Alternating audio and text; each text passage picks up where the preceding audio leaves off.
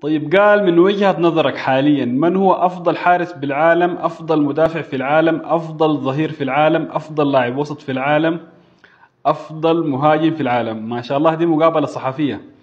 طيب كويس أنا حجاوبك على كل الأسئلة. آه بالنسبة لأفضل حارس آه بالعالم آه أنا بشوف صراحة حاليا ياسين بونو الحارس المغربي حارس نادي إشبيلية. آه إذا أنت ما متابع ياسين فبالله عليك ما ما تنتقدني إلا تكون متابعه يعني. آه أفضل مدافع في العالم حاليا آه مدافع برشلونة أروخو.